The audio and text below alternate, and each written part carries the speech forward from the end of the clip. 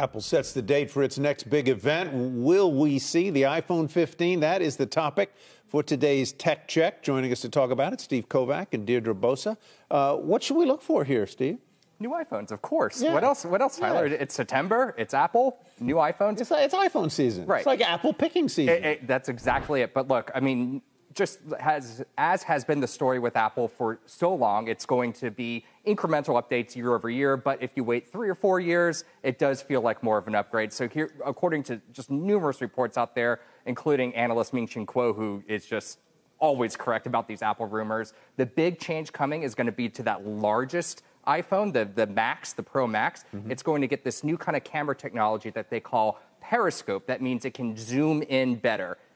That's all that really means. It's an, op- it's an optical zoom versus a digital zoom, better pictures, great. The other thing, this is what everyone's going to be talking about though, is the change from that lightning plug, the plug that they've been using at the bottom of the iPhone Yeah. for, I don't know, last decade or so, is going to change to something called USB C. Now, if you're an Android phone user or you use a more recent laptop, you're used to that. Those are the new kind of USB C plugs that have been popping up everywhere. Now, Apple is going to They're adopt that. smaller USB, right? Correct, They're yeah. kind of a mini USB. And, and this is actually probably going to be a good thing. A lot of the, the reason Apple's doing this is because EU put out new regulations saying companies have to do this. So Apple has admitted itself that they're likely going to do it.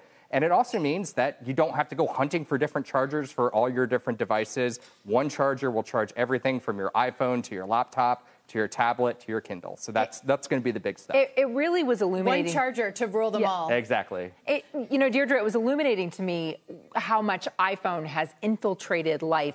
When I picked up a framed picture this weekend and I started to try to zoom in on it by doing this, you know, I'm like on a, on a, on a real print picture. What, what was I thinking there? How much pressure is on Apple to keep innovating from companies like Google and the Android phones and, and everybody else who's making devices?